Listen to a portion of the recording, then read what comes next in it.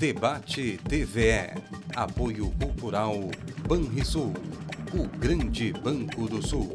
E Celulose Rio Grandense.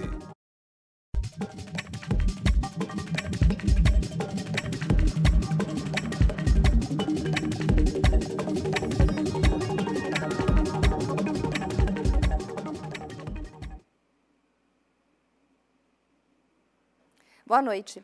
A possibilidade de venda das estatais é o foco do nosso debate de hoje. Pois, nos termos de acordo de adesão ao regime de recuperação fiscal proposto pela União, o governo do Estado inclui a privatização de três estatais do setor energético, a CE, o CRM e a Sulgás. Hoje nós estamos recebendo dois deputados aqui no programa. O deputado Valmir Suzin, que é o líder da bancada do PMDB, e o deputado Tarcísio Zimmermann, do PT, que é o líder do partido. Mas é claro que os fatos políticos ocorridos hoje na capital federal também serão analisados pelos nossos convidados. Lembramos que este programa está sendo transmitido ao vivo no site da TVE e também pelo Facebook. E que você pode participar aqui da nossa conversa através do WhatsApp 984516352 é o nosso número. Você manda o recado, manda a sua pergunta e a gente passa aqui para os nossos convidados. Boa noite, deputados, sejam bem-vindos. Boa noite, Maria Helena. Boa noite, Boa deputado noite. Zanquim. Errei seu nome? Não tem problema. Vilmar, Zan... Vilmar desculpe, Zanquim. Desculpe, deputado Vilmar Valmir Suzinho, acho que foi um deputado Exato, também, né? Foi, também. Foi. Não, foi. desculpe, eu acho que foi, foi ali na troca de câmera. Não tem problema. Mas Seja bem-vindo igual. Obrigado. E eu acho que nós podemos começar primeiro falando do que ocorreu em Brasília hoje, porque foge completamente um cenas de violência, um incêndio de um ministério, né, e, e, e a própria chamada da, da, Força Nacional. Como é que vocês receberam, como é que vocês viram essas questões? Deputado Zimmermann. Olha, é, na verdade, o, o, dia de hoje estava já marcado para ser um dia de mobilizações e de, de, manifestações em Brasília. E até as coisas transcorriam bem normalmente, sem maiores, sem maiores problemas, enfim. Uh, até a entrada em cena de alguns black bloc que, eh, de fato, tiveram um, um espaço para agir uh, surpreendente, né? com aquela quantidade de, de, de, forças policiais que havia em Brasília. Uh, é surpreendente que os Black Bloc tivessem tanto acesso a ministério e possibilidade, inclusive, de incendiar tá uh, os espaços, imagens, os espaços públicos lá. Isso foi tão, tão grave que, a uma certa altura, a Central Única dos Trabalhadores até chamou o seu pessoal de volta né, diz, ó, oh, vamos sair daqui porque o nível de violência empregado contra os manifestantes era muito grande, mas contra os Black Bloc, surpreendentemente, as, as forças policiais se mostravam muito, muito lenientes. Eu acho que, eh, de qualquer forma, o episódio de, de Brasília, ele ilustra esse, essa situação de crime que vive aquela capital, quer dizer, aquilo que o, o Procurador-Geral da República chamou de diálogos criminosos que envolveram o golpista Temer, uh, uh, se traduz também numa, numa intervenção criminosa das forças de segurança uh, atacando, atacando manifestantes e deixando livres os black bloc. É isso que aparentemente nós vimos hoje em Brasília. evidentemente que para os protestos não interessa esse tipo de violência porque isso desabilita muito, dá aquela ideia, não, são um bando de bagunceiros. Não, as pessoas que estavam lá estavam lutando contra o desmonte, a destruição do direito de previdência, contra o desmonte, a destruição de direitos trabalhistas que estão sendo levados a efeito uh, numa velocidade inacreditável uh, por um Congresso que não tem legitimidade para isso e por um governo que não tem legitimidade para isso. Então, evidentemente, nós somos favoráveis ao protesto, à manifestação, e mas lamentamos muito que essa se tenha dado margem a uma ação de um pequeno grupo, segundo as notícias que a gente recebeu dos nossos companheiros que estão por lá, não eram mais do que 50 os que estavam efetivamente mascarados, enfim, toda a organização do evento tinha inclusive um cuidado para não deixar ninguém com o rosto tapado, não, não, não, não permitiam a entrada uh, ou que manifestantes utilizassem uh, uh, o rosto totalmente tapado e depois entraram os black bloc com aquelas toucas ninjas, com aquelas roupas pretas, enfim, e que acabaram tumultuando o ambiente. Deputado Zanquim, como é que o senhor viu esse episódio, esse triste episódio hoje em Brasília, né, com forças de ambos os lados e muita violência? É uma pena que essas manifestações ganham a repercussão por conta da violência que é empregada eh, por alguns baderneiros irresponsáveis que não respeitam os espaços públicos, eh, não têm o menor compromisso com aquilo eh, que é do outro, né? E, infelizmente, vivemos esse momento triste, eu diria, afinal de contas, os prédios dos ministérios ali na esplanada uh, sofreram avarias por conta da ação de alguns irresponsáveis. Nós queremos acreditar que não estão por trás dessas ações algumas instituições que legitimamente têm todo o direito de manifestarem as suas posições, de democraticamente protestarem, inclusive, mas queremos crer que sejam ah, algumas poucas pessoas infiltradas nesses movimentos e que acabam, de fato, ah, denegrindo a livre manifestação pública das pessoas e principalmente daquelas entidades que representam determinado segmento da sociedade. É uma pena que isso tenha ocorrido e esperamos que isso não volte mais a acontecer. Vamos voltar agora para o Rio Grande do Sul? Questão, então, da, da venda de estatais, como, de, lado a lado das necessidades, do, do, o que eu falei da questão de nego, negociar dívida, colocar como, né, como, como moeda até para negociar dívida, como ficamos? Continuamos com o senhor, deputada? Pois não. O, o projeto da recuperação fiscal que foi aprovado no Congresso e já sancionada a lei pelo presidente Temer, a partir de agora, o Estado do Rio Grande do Sul vai eh, tomar todas as providências no sentido de fazer a adesão a essa lei aprovada em Brasília. Especificamente naquilo que tu tocas, Maria Helena, que são as exigências desse novo contrato, uh, tem a previsão da inclusão, inclusive de garantias dentro desta lei, uh, de bens do setor financeiro, né, de saneamento básico e do setor energético. Aqui no Rio Grande do Sul, o governador já assegurou isso publicamente, que Banrisul, Corsan estão fora uh, de qualquer possibilidade de ser incluída nesta renegociação, como garantias, inclusive, até para captação de futuros financiamentos.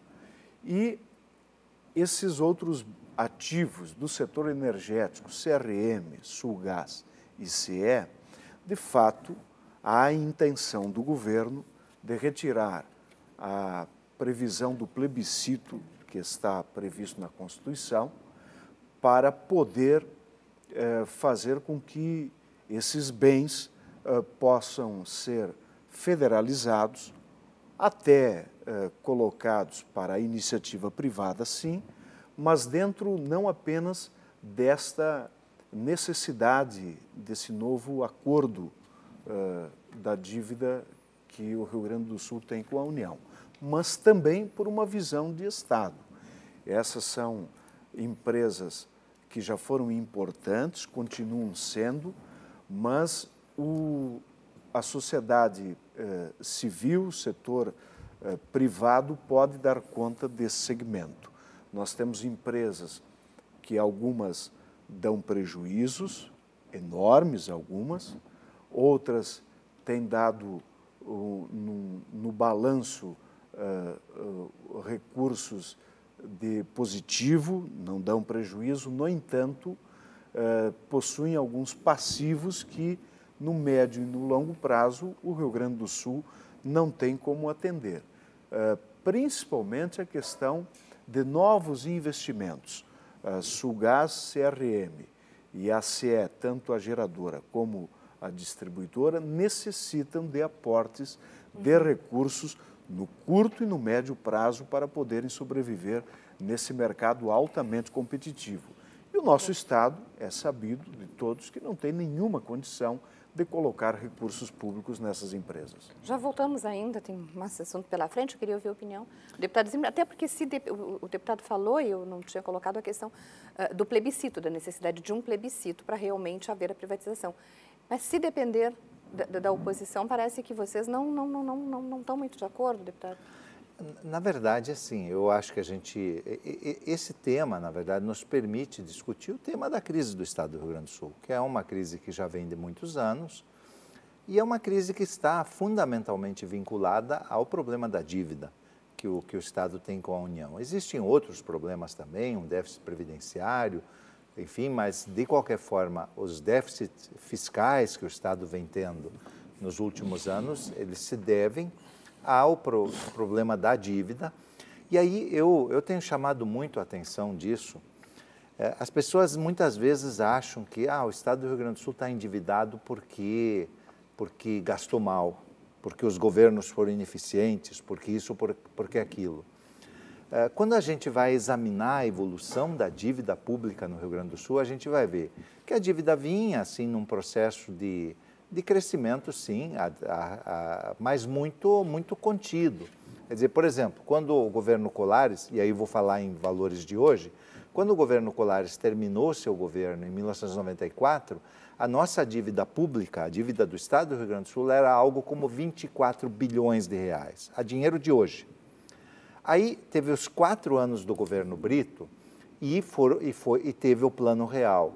Quando terminou o governo Brito, a dívida tinha chegado em 54 bilhões de reais, muito parecido com o que ela é hoje. Hoje ela é calculada em torno de 58 bilhões.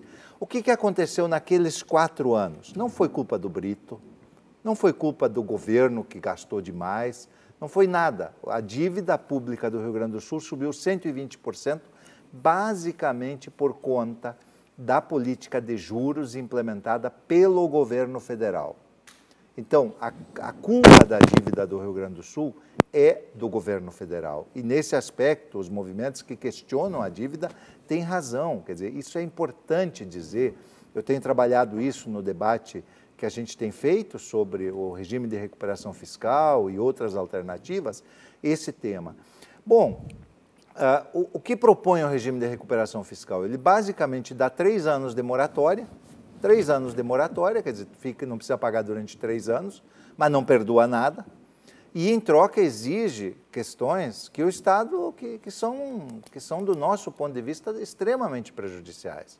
Quer dizer, ele exige a privatização de empresas públicas, ele exige, a, proíbe a concessão de novos benefícios fiscais e exige a redução dos benefícios fiscais à taxa de 10% ao ano. Uh, ele proíbe a nomeação de novos servidores, quer dizer, ampliação dos, dos, efetivos do serviço público. E, pô, no Rio Grande do Sul nós temos uma carência de segurança, por exemplo, que é dramática. Nós imaginar que nós vamos ficar três anos sem poder ampliar o efetivo da Brigada Militar é muito dramático. Então, na verdade, ele exige tudo isso em troca do quê?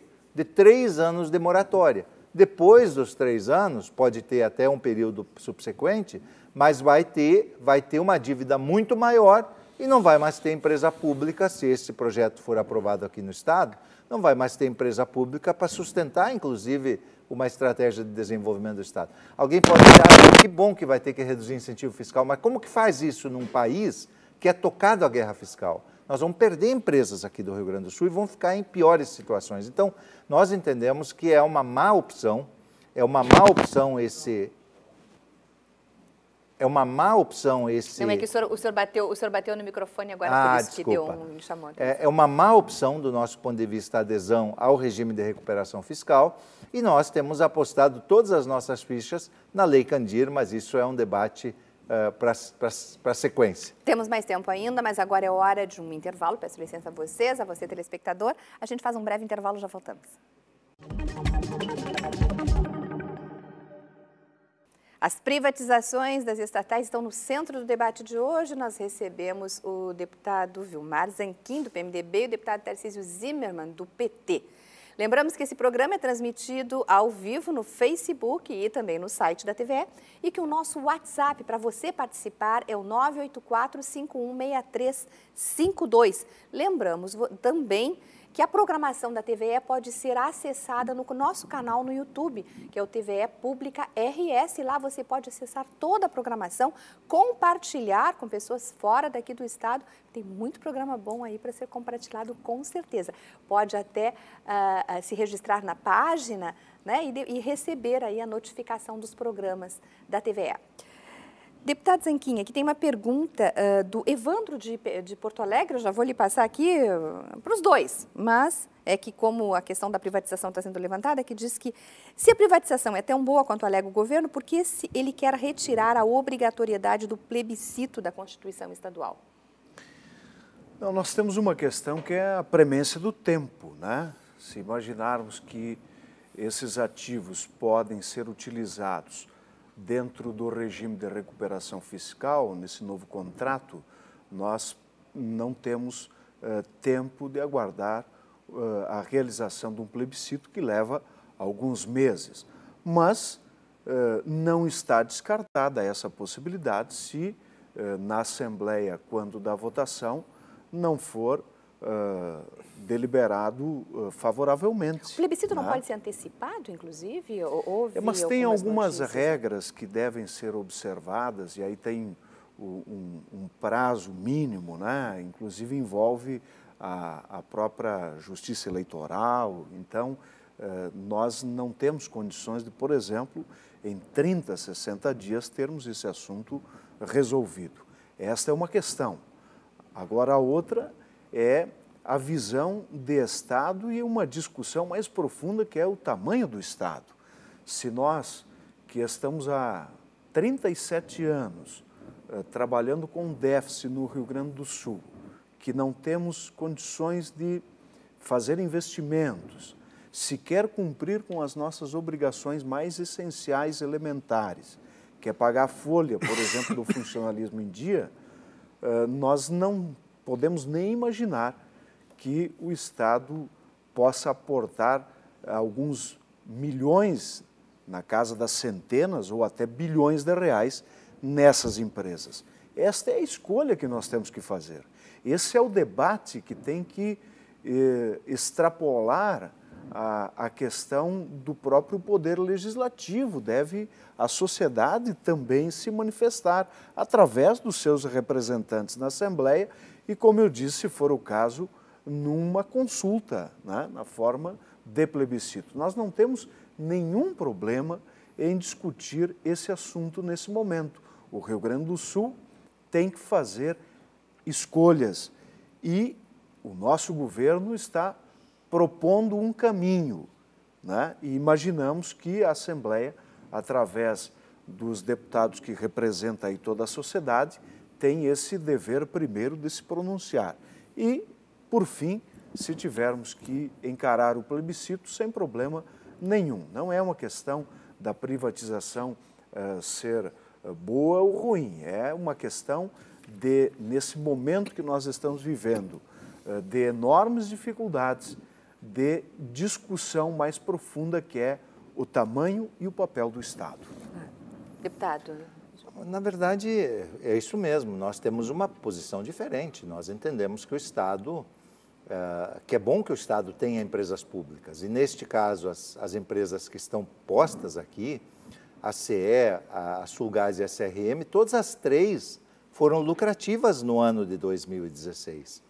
É, é evidente que o Estado tem dificuldades e vem tendo há muitos anos. E, como eu falei, a causa principal dessa dificuldade foi a política monetária do governo federal, que, que hiperendividou uma porção de estados e hiperendividou o próprio, o próprio uh, governo federal ao tempo do plano real. Mas uh, uh, nós, nós entendemos, no, por exemplo, a CE. A CE, entre todas as companhias energéticas do país, e a maioria delas são privadas, foi a companhia que mais investiu no período 2013-2015. Ora, se a CE conseguiu investir nesses anos, que foram anos duros, né, difíceis, uh, uh, ela certamente poderá ter condições de investir mais. A CE tem hoje uma ação contra o governo federal pedindo, e uma ação que ela vai ganhar, porque já ganhou uma ação idêntica relativa a um outro período, uma ação que, que, que corresponde a 8 bilhões de reais de indenização por conta de políticas executadas pelo governo federal ao longo do período de funcionamento uh, uh, da CE. Então, a CE vai, vai ganhar isso e certamente com isso ela terá condições de continuar investindo. A Sulgás e a CRM, uh, elas foram, ao longo de todos os anos da sua, do, ao menos dos últimos anos, foram empresas lucrativas. Eu tenho aqui o dado da, da, da CRM, eh, e da Sulgás, a, a, a Sulgás teve um lucro no ano passado de 53 milhões e a CRM um lucro eh, em 2014 de 23,5 milhões. Então, eh, eu acho que, mas eu, eu acho que o fundamental é a gente pensar assim, isso resolve o problema do Estado? E aí eu sou obrigado a dizer que não resolve. E vou dar um. Eu sei que trabalhar com números sempre é xarope, porque é difícil a gente guardar. Mas o governo, o, o Rio Grande do Sul, ele paga para a União em dívidas todos os anos algo como 3 bilhões e 200, 3 bilhões e meio. Quanto o governo do estado pretende arrecadar com a venda da CE, da CRM e da Sulgás? Segundo o secretário Giovanni Feltes, e tem uma matéria no Valor do início desse ano, ele estima que possa arrecadar entre 3 e 4 bilhões de reais. Ora, isso resolve um ano, um ano da dívida. Quer dizer, não resolve absolutamente nada em termos eh, de, de médio e longo prazo. E esse tipo de política de curto prazo é que nós temos que evitar, nós temos que fugir disso. Essas empresas, a CE distribuidora, ela tem problemas, ela tem, ela tem efetivamente prejuízo, mas a CE geradora tem lucro. Então, ah, não, é, não são elas que estão inviabilizando o desenvolvimento do Rio Grande do Sul. Nós entendemos que a alternativa aqui, e a Assembleia tem trabalhado esse tema, é o ressarcimento da Lei Candir. Pelo se nós obtivermos os ressarcimentos previstos uh, pela Lei Candir, nós teremos a cada ano 4 bilhões. Não, não o que nós teremos uma vez com a venda da CE, da CRM e da Sulgás, mas nós teremos a cada, quatro, a cada ano os 4 bilhões que nós teríamos, ou aproximadamente isso que está estimado. Então, eh, nós, evidentemente, o governo não tem voto hoje, Zanquim, para aprovar a, a, a queda do, do, do plebiscito. E, eh, nós não votaremos a favor dessa matéria. As bancadas do PT, do PSOL, do PCdoB, do PDT, uma parte da bancada do, do PTB, a rede, né, o PPL. Votos? 33, né? 33. 33. O governo não tem esses votos e não terá amanhã também. E nós pretendemos, é. inclusive, quer dizer isso de público, deputado Zanquim, pretendemos impedir que o Estado adira a este malfadado. Isso é um, aliás, é um nome desses tempos atuais, eh, Maria Helena e telespectadores regime de recuperação fiscal, ele é, na verdade, um regime de vassalagem do Estado à União. Bom, vassalagem. Eu... Em troca de, um, de, um, de, um, de uma moratória de três anos, de uma carência de três anos, não tem perdão de dívida nenhum. Nós, tem, nós temos que privatizar, temos que desmontar nossa economia, não podemos melhorar o, de, serviço público. O, de, o deputado Zimmermann, é importante se diga, o Rio Grande do Sul enfrenta o auge de uma crise financeira. Esse regime de recuperação fiscal vai nos possibilitar a respirar, a conseguir cumprir com as obrigações mais urgentes, como o pagamento da folha do funcionalismo em dia. Nós respeitamos a posição da bancada do PT, outros partidos que pensam diferente, mas não querer que o Rio Grande do Sul vá aderir a esta proposta é não querer que o Estado consiga, no curto prazo, já no mês seguinte, cumprir, por exemplo, a sua obrigação com os servidores. É a única maneira que nós temos nesse momento. Há outras discussões que podem ser feitas, algumas até já estão em andamento, como a questão da Lei Candir, no âmbito judicial. Mas qual é a alternativa que nós temos nesse momento? É? Então, nós vamos trabalhar no sentido oposto, de fazer Mas, com é, que tá a Assembleia aprove, sim, a adesão ao regime de recuperação fiscal, para que nós possamos aqui, eh, no Rio Grande do Sul, cumprir com a folha do funcionalismo, por exemplo, no final do mês. Mas o deputado Zimmermann colocou uma questão que eu quero concordar com ele. Ah, esses ativos do setor energético, Sulgás, CRM e CIE, não é uma questão de curto prazo apenas. É pensando no médio e no longo prazo. Essas empresas, no médio e no longo prazo, vão exigir aporte de recursos num volume astronômico por parte do Tesouro do Estado para poderem sobreviver nesse mercado altamente competitivo. A CE, por exemplo, distribuidora, tem uma dívida líquida de 3 bilhões de reais. A CE Geração tem um passivo de 1 bilhão e 300 milhões de reais, embora tenha dado contabilmente lucro no ano que passou. A própria CRM, que tem uh, um único uh, uma única empresa que é cliente e que não possui condições de fazer uma modernização na empresa para poder continuar competindo e ampliando o mercado, a Sulgás, que também tem este cenário, nós não podemos condenar essas empresas a fecharem as portas logo ali adiante, ou o Rio Grande do Sul acabar se endividando ainda mais para ter que salvar essas empresas.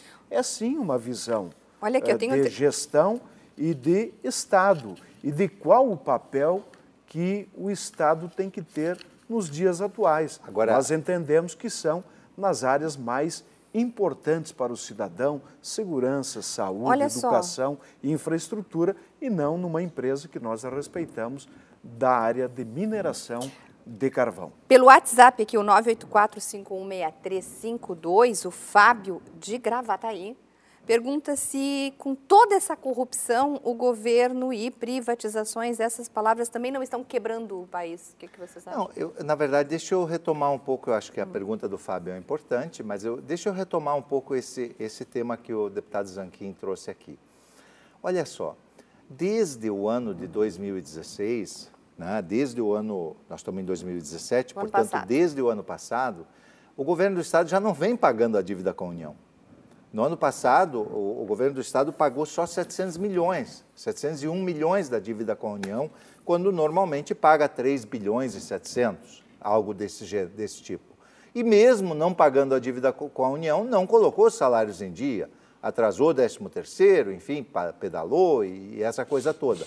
Na verdade, nós temos dito que é uma opção do governo do Estado em não pagar o salário em dia.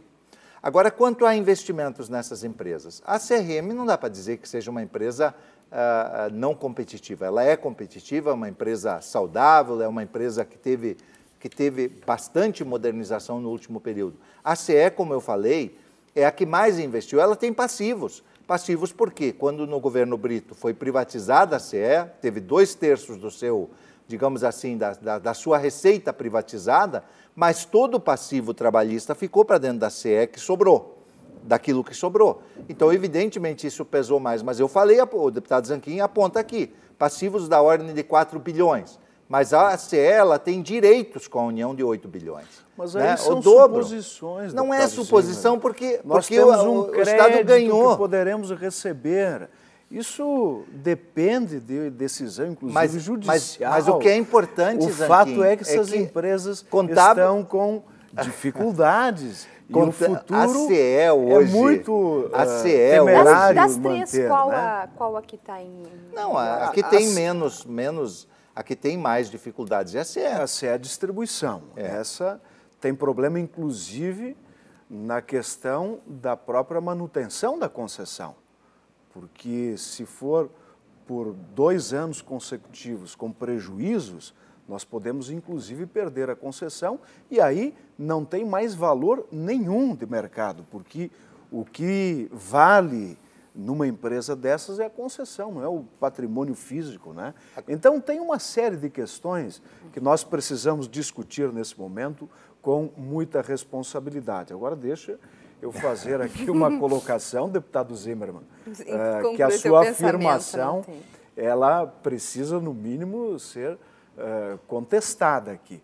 Não é opção do governo não pagar o salário em dia mas, dos funcionários. Mas, alguém, alguém, o governo uh, uh, tem nesse momento que fazer sim com que se mantenham os repasses constitucionais, por exemplo, e, e, e se impõe na situação uh, de crise financeira que nós vivemos o sacrifício aos servidores infelizmente. Mas eu vou dizer, Sanquinha, aí eu vou dizer aquilo que eu já disse muitas vezes na tribuna da Assembleia.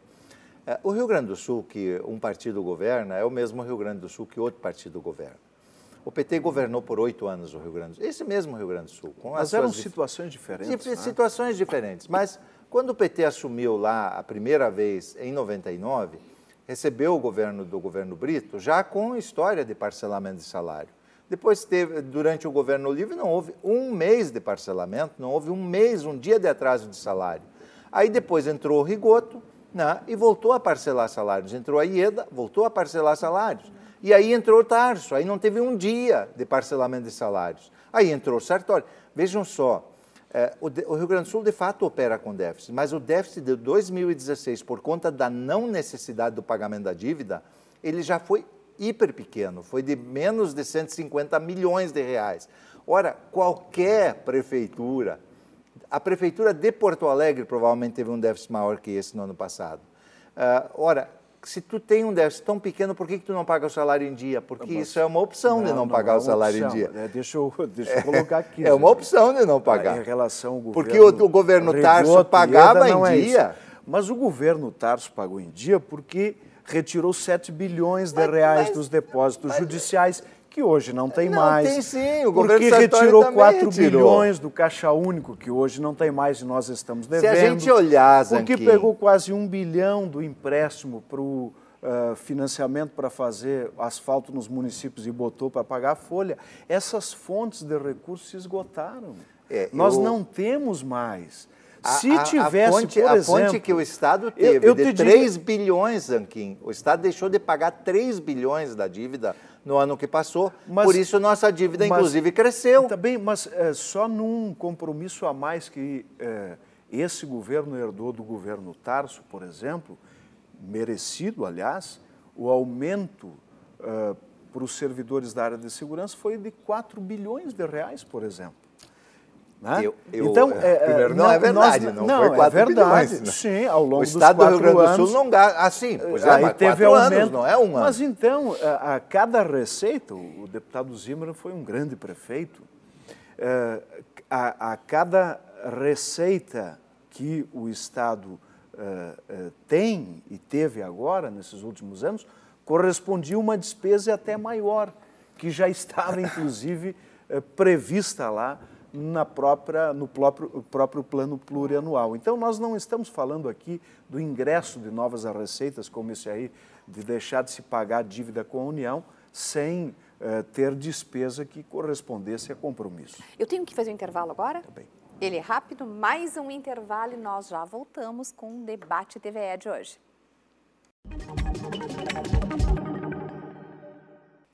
As privatizações são assuntos do debate de hoje. Nós estamos recebendo o deputado Vilmar Zanquim, do PMDB, que é o líder da bancada do PMDB, e o deputado Tarcísio Zimmermann, do PT, que é o líder do partido lá na Assembleia.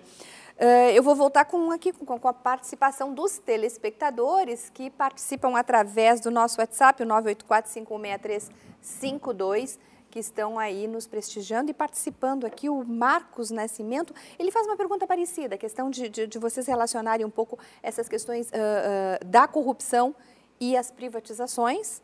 Uh, né? Boa noite, que ele diz que é contra o tipo de... Primeiro ele abre dizendo que é contra as manifestações que quebram o patrimônio público das imagens que a gente mostrou no início do programa do que ocorreu hoje, as tristes imagens do que ocorreu hoje na capital federal, em Brasília.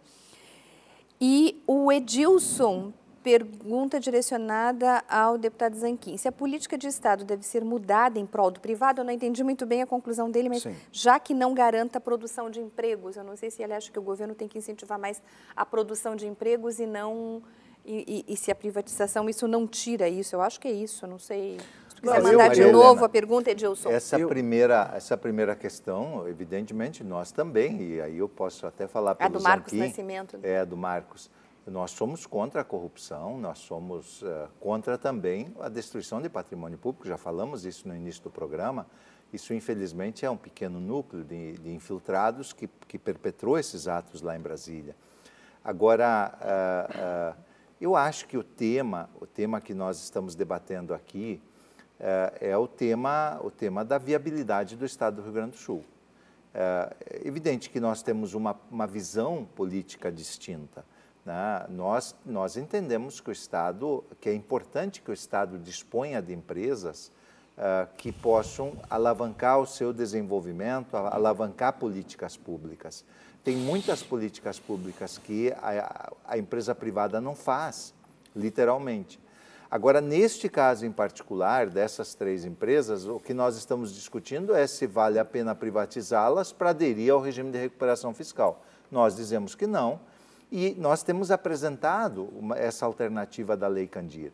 É, o Supremo Tribunal Federal reconheceu que os estados têm direito a ressarcimento. O estado do Rio Grande do Sul tem uma perda anual da ordem de 4 bilhões. Uh, uh, isso também acarreta perdas aos municípios.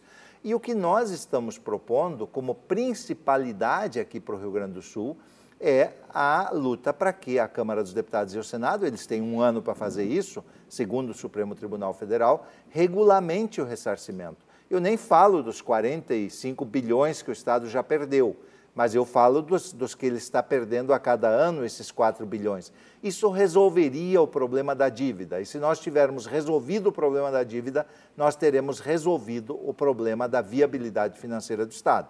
Então, nós entendemos que é muito mais importante a luta em torno do ressarcimento da Lei Candir, até porque o Supremo determinou que isso fosse feito, o Supremo Tribunal Federal, do que trabalhar a adesão ao regime de recuperação fiscal ou as privatizações.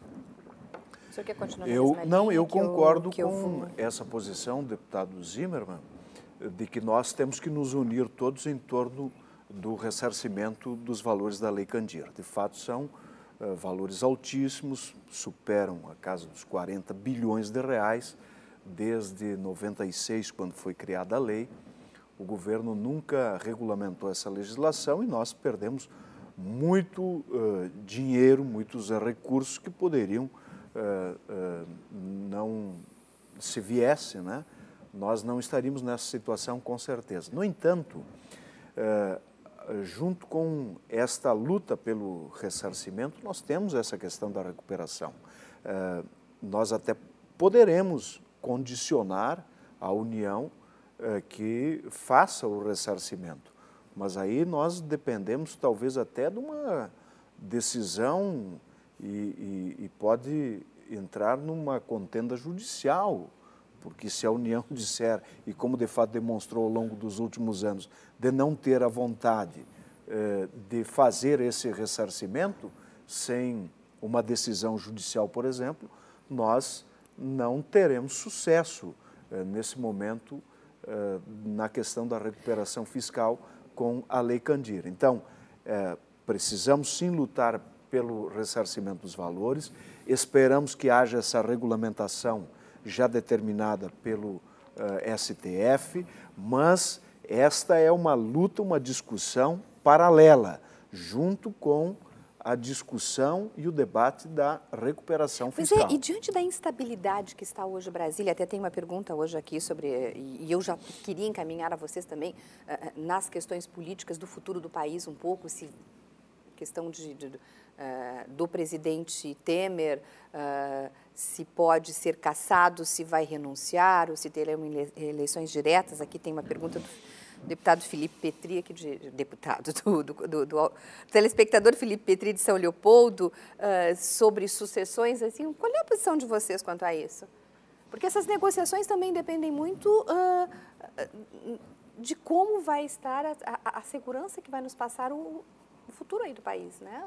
O, o problema todo que uh, a cada novo dia uh, surgem novos fatos que acabam colocando o país nesta situação e agora praticamente paralisado de novo.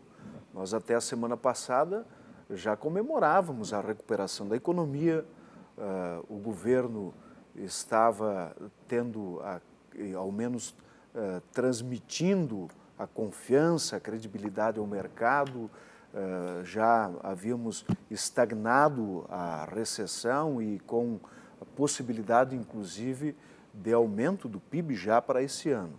Infelizmente, vieram à tona essas denúncias e a primeira consequência é, novamente, o mercado é, gera uma desconfiança tal que acaba paralisando novos investimentos e o país, até não se resolver todas essas questões que envolvem uh, o comando do país no campo político, nós teremos sim consequências uh, no, no, campo econômico. Mas, né? eu... Infelizmente, nós esperamos que tudo isso uh, seja resolvido o mais rápido possível pela permanência ou pela saída do presidente, né? que se tome uma decisão e que o país possa voltar o, o mais rápido possível a uma normalidade. O senhor teria algum nome né?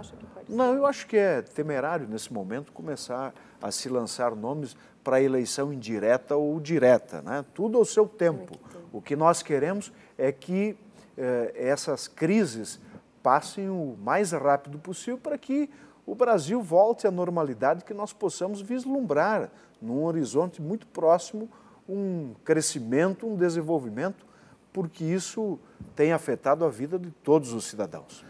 Eu, eu, eu acho que a própria instabilidade, neste caso, ela nos favorece, favorece a busca de uma saída para o estado do Rio Grande do Sul, e para os outros estados que, têm, que são exportadores e que têm os, o direito ao ressarcimento, acho que essa instabilidade até nos favorece. Quer dizer, um governo, quando ele está muito firmezinho, aí é que ele não, ele não, não, não abre a mão. Eu acho que é, é uma situação dramática. Eu, evidentemente, não trabalho nem um pouco com a hipótese da continuidade do governo Temer, depois daquilo que nós ouvimos aí nas gravações, enfim, e vimos nas atitudes, as malas de dinheiro e não sei o que mais evidentemente, isso é um governo cercado do crime, é um governo, ah, ah, vamos dizer assim, mergulhado no crime. Então, nós temos, nós temos defendido a ideia do fora Temer, de diretas já, de parar as reformas, mas eu, esse desmonte dos direitos trabalhistas e previdenciários, mas eu acho que, no caso do Rio Grande do Sul, quer dizer, o que, que nós temos objetivamente? Nós tivemos uma aprovação de uma lei que, do nosso ponto de vista, é cruel com os estados de, que, que, estão endividados. Uh, mas nós temos também um Congresso, quer dizer, deputados estaduais, eh, deputados federais e senadores do Rio Grande e de outros estados que têm interesse, que têm, por ordem do Supremo Tribunal Federal, a obrigação de regulamentar aquilo que o Estado do Rio Grande do Sul tem direito. E nós achamos que este é o caminho, quer dizer, até o final do ano, os deputados federais e senadores, bem pressionados, e a Assembleia está tá fazendo o seu papel nesse sentido, bem pressionados, podem regulamentar e a gente ter uma solução para a crise financeira do Estado do Rio Grande do Sul via um encontro de contas entre as perdas da Lei Candir. Pode ser até do, do, do, do passado, a gente pode abrir mão, mas não do presente. As perdas do presente para que isso recomponha aquilo que nós deveríamos pagar a dívida. Então, eu acho que a nossa luta deve ser esta. Eh, eh, eu insisto muito nessa ideia. O que, que adianta nós termos quatro anos, três anos de moratória de uma dívida e depois ela hoje é de 58 bilhões, lá daqui a três anos ela vai ser de 85, e aí como é que nós vamos pagar? Quer dizer, aí não vai mais ter empresa para privatizar e o Estado vai continuar quebrado. Nós, eu acho que nós temos que buscar a solução via esse encontro de contas da Lei Candir. O Estado tem um direito, o Supremo reconheceu esse direito, os nossos deputados federais e senadores têm a obrigação de socorrer o Rio Grande e, por isso, não precisa privatizar.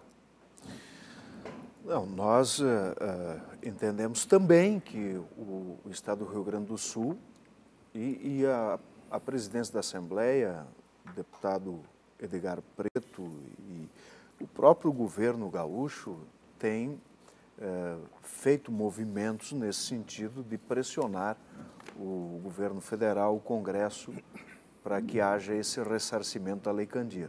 Só que nós temos também que entender que a União defende o seu lado, como Fernando Henrique defendeu ao não regulamentar e quando criou inclusive a lei, os oito anos do Lula também, os quatro anos da Dilma também, eles estão no papel de defender os interesses do ente federado que é a União.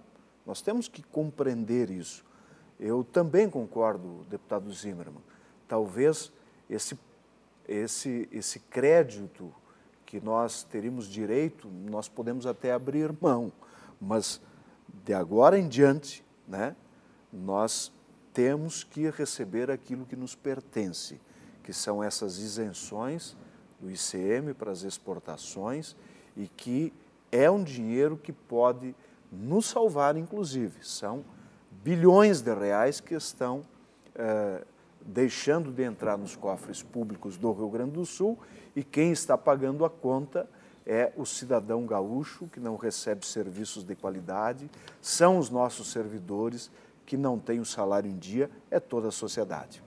É, aliás, eh, Maria Helena, eu queria, eu queria aproveitar esse fim aqui para chamar, chamar os nossos prefeitos, os nossos vereadores. Eu amanhã de noite vou estar em Gravataí debatendo a Lei Candir na Câmara de Vereadores. Olha só. E, e olha só, Gravataí tem uma perda anual de 28 milhões de reais por conta da Lei Candir. 28 milhões, quer dizer, eu tenho certeza que a prefeitura de Gravataí, o povo de Gravataí ficaria muito feliz em ter esses 28 milhões para melhorar a infraestrutura da cidade, para melhorar, enfim, tantas coisas que precisam melhorar. Aliás, todos os municípios têm uma perda. Dos municípios na semana Toda, passada, todos os municípios têm uma perda. Então, nessas. eu queria fazer esse convite aqui, prefeitos e vereadores se engajem nesse esforço, pressionem os seus deputados federais, os seus senadores aqui do Rio Grande, porque é isso mesmo, quem vai votar essa lei, quem, quem está mandado a votar pela ordem do Supremo Tribunal Federal é a Câmara e o Senado eu, eu acho que eh, nós todos aqui temos um grande interesse de sair desse, dessa situação dramática que o Rio Grande do Sul enfrenta há muitos anos. E agora, muito mais do que um caminho circunstancial e transitório, nós temos uma possibilidade através da Lei Candir, que é uma possibilidade permanente. E é isso que nós temos lutado e vamos continuar peleando numa boa, né? porque temos uma visão diferente da visão do governo que hoje governa o Rio Grande do Sul. O André de Nova Petrópolis, eh, o senhor falou agora da situação dos estados, de certa forma os estados se uniram né, muito uh, nesses últimos meses, até uh, principalmente os estados em pior situação, né, Minas Gerais, Rio de Janeiro, uh, Rio Grande do Sul, mas ele, ele quer saber assim, o que, que estão fazendo para equiparar briga pela diferença na guerra fiscal dos estados, já que o Brasil é um só. É o André de Nova Petrópolis que pergunta. Envolve um pouco muito o que nós discutimos ontem, André.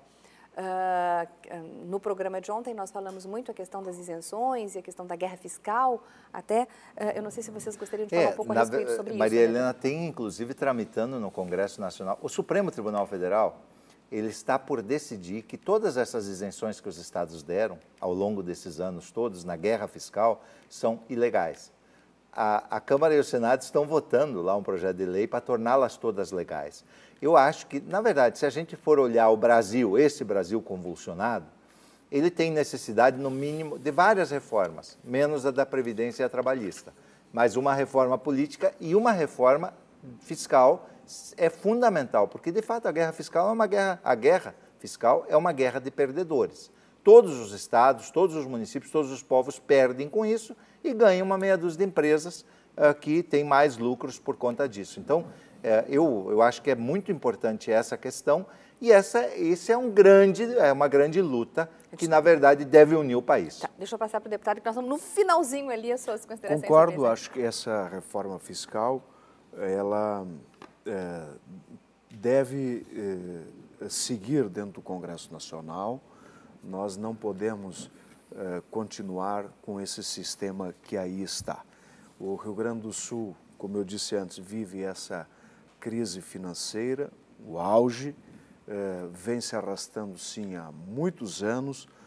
Todos os partidos que governaram o Rio Grande do Sul possuem a sua parcela de responsabilidade nesta situação e o momento exige que todos nós nos unamos em torno do futuro do nosso Estado, começando por soluções que melhorem o presente, mas principalmente que possamos construir um horizonte melhor para o nosso Rio Grande. Acredito que esse é o pensamento de todos os partidos.